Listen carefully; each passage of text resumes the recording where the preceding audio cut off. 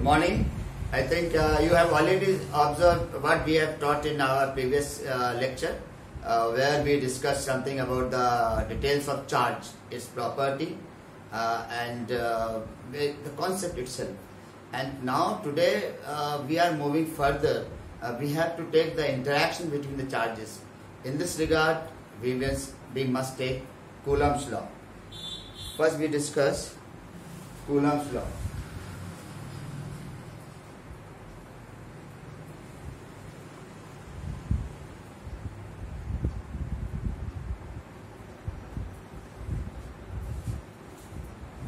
This is our Coulomb's law. Now, what is Coulomb's law in fact?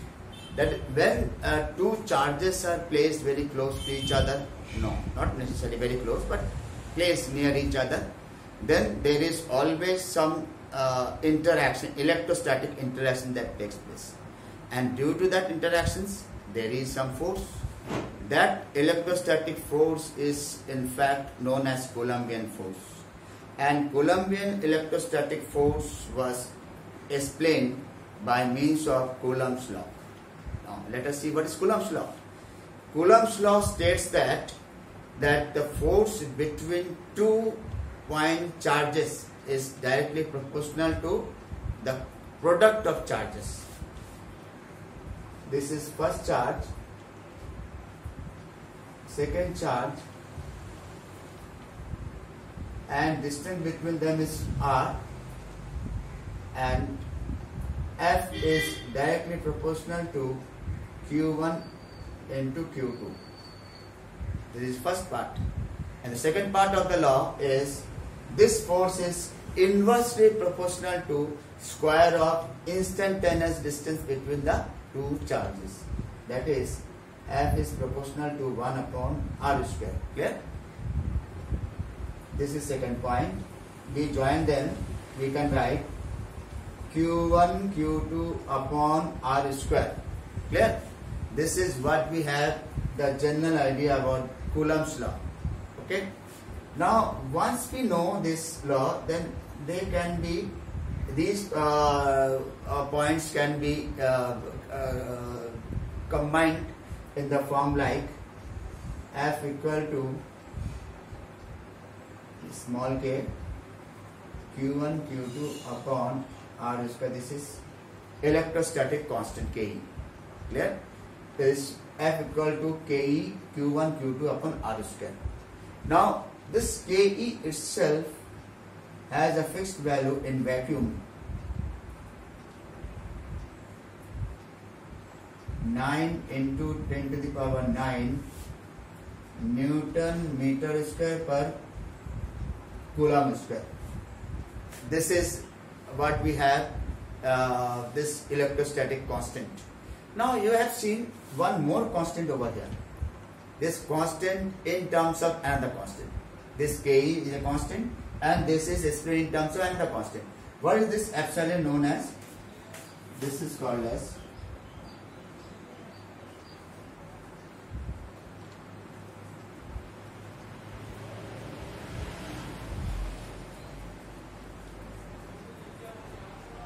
permittivity of free space.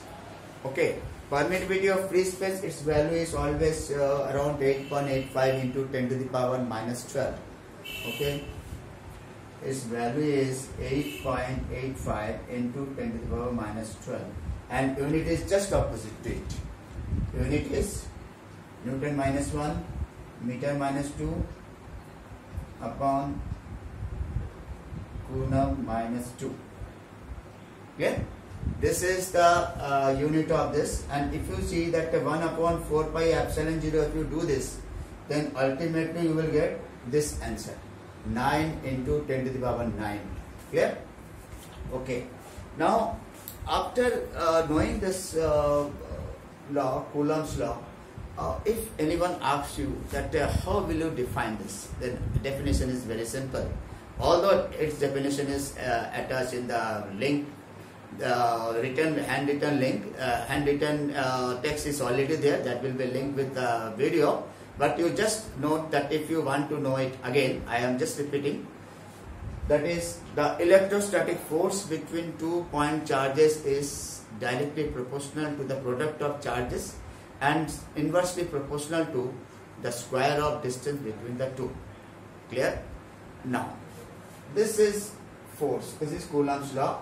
First part is there. Okay. Now, after this, we will take that how we discuss its direction.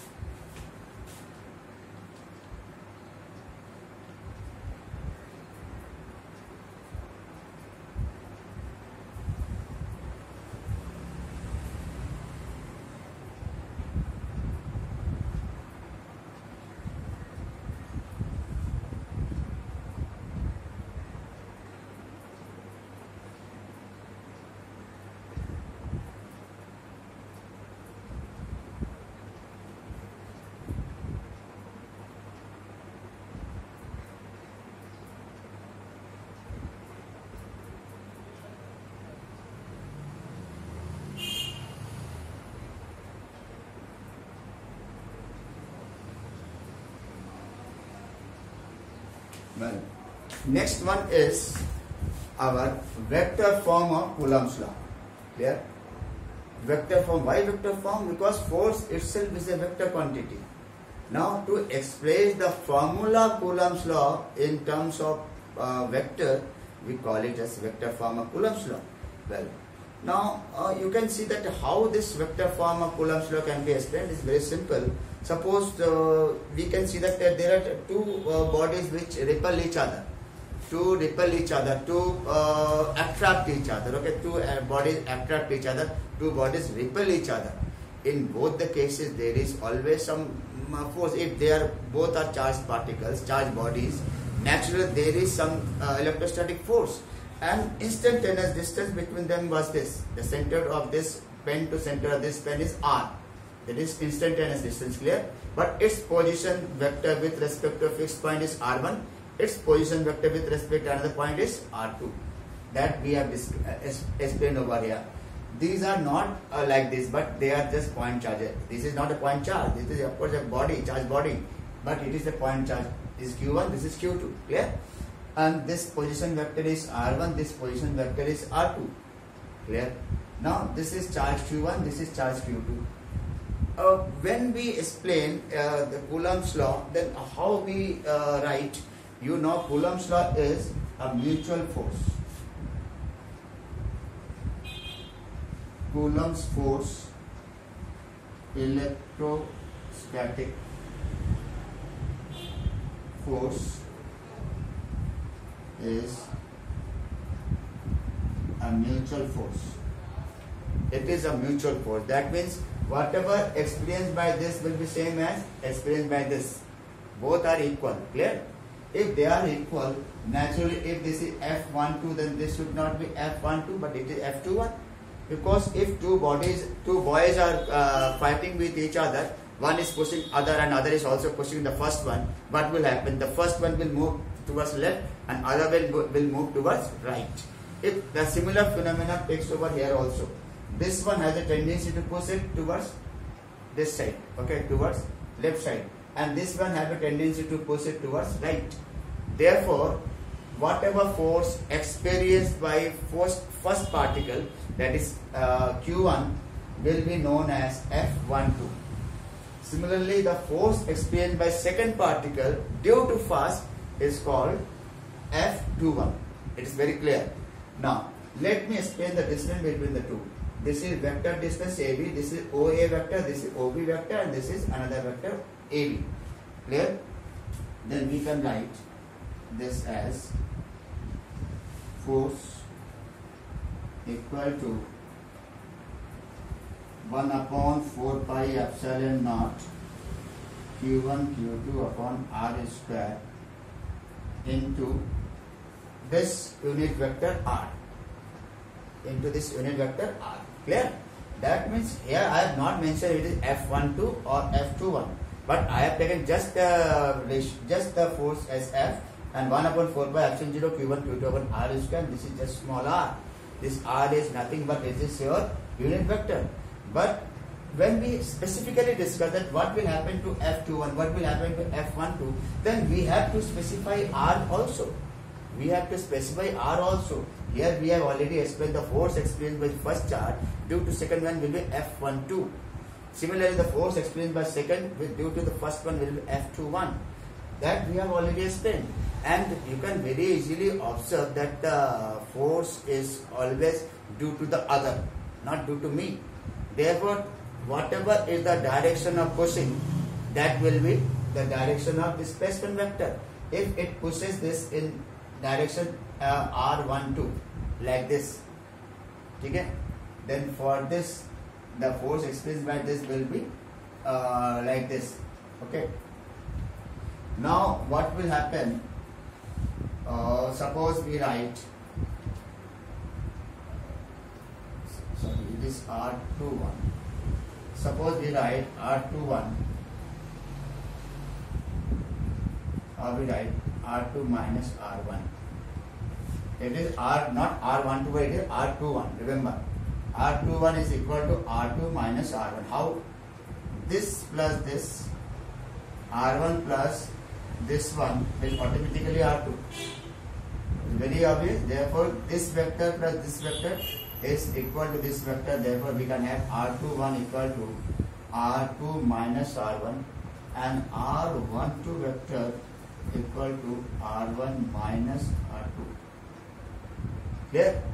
Therefore, when we discuss the force F21, what how we write F21 equal to 1 upon 4 pi epsilon 0 Q1 Q2 upon R square R21 as unit vector R21 in unit form unit hmm.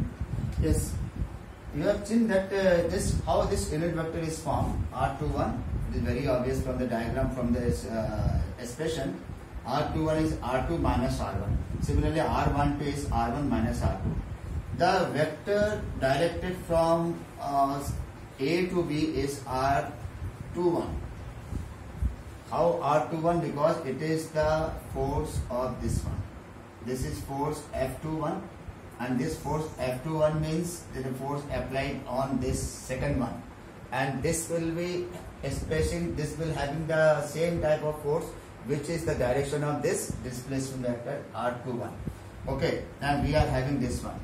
And this can be written as 1 upon 4 pi epsilon naught q1 q2 upon r21 whole cube and then r21 vector. They are the same expression and you can see there is difference. The difference is very obvious okay? R21 is this and r and this is your uh, vector r21 this is your unit vector r21 this is the basic uh, difference between the two. And the similar thing you can even have for rf12 so this is what we have the general idea about uh, the forces uh, in vector form the coulomb's law in vector form and let me explain that uh, how we decide that what could be the respective directions. There are some points regarding that. How we decide that what will be the direction of respective uh, forces. Okay. Well, suppose we have first one, first one as this is your uh, Q1 and this is your Q2 they are like charges. Clear? Therefore, force is repulsive. this will explain, this will get a force towards, uh, uh, uh, that is uh, from second to first. That is F1 2 will be directed from 2 to 1. Clear? Therefore, it will have a direction in R21 direction. I want this does, does not mean that they are equal. I, I am discussing about the direction right now. Direction. Similarly, similarly, when we have F, uh, the force experienced by second one, it will be from this to this. Displacement vector is from 1 to 2, and therefore F21 is R12. One thing is very clear that the force of repulsion is always uh, taken away from it. It is very clear. Okay. Uh, this will have this one and this one have, uh, uh this is the general idea of a thing. Now, second one is if Q1 and Q2 are unlike charges.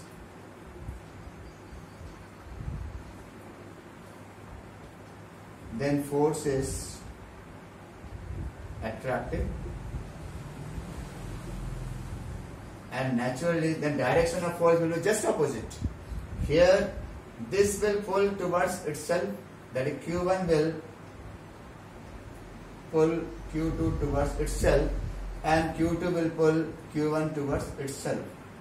Okay, and that means the force on Q1 for this case, force on Q1 that means F12, F12 will be what? It will be directed in R12 direction. Similarly, F21, the force experienced by this will be towards the uh, first charge that is it is directed towards R12 these two things are there. Now if we say that it is a mutual force uh, there is always a direction uh, towards uh, uh left or towards right but what is the resultant direction? If force is a fixed quantity there must be some resultant direction also.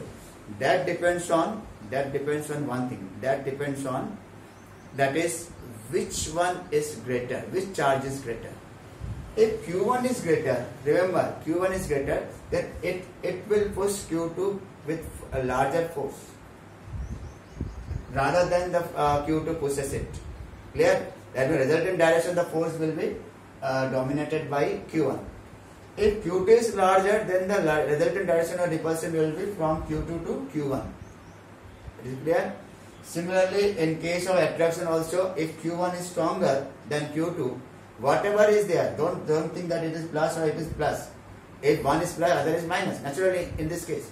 But if 4, 4 coulomb is plus and minus 2 coulomb is minus, then 4 coulomb is stronger. Then 4 coulomb is, will attract it towards itself.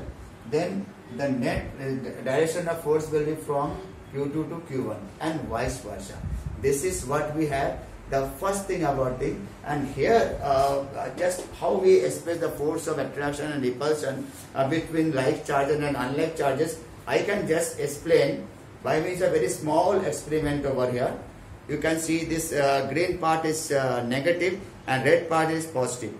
When I place positive to positive they never stick. They never they could never stick to each other. But always they try to repel you can see it is moved out. Even if we try to uh, place it closer, it moves out. On the other end, if I place this greener to uh, near red, it stick. Greener is negative, redder, red one is positive. They stick together. Uh, this uh, gray, uh, blue, this uh, the red and green part they stick together. On the contrary, if red and red they are trying, they are placed closer, they always repel they always repel. It is not any tricks of me, but uh, they are simply two small magnets over here. North and south poles are positive and negative. We consider, but nothing to do with magnet since it is round shape. We consider they are two charges. This red portion is positive and uh, green portion is negative. Again, I'm uh, green, green. They are put together. Suppose this green, another green,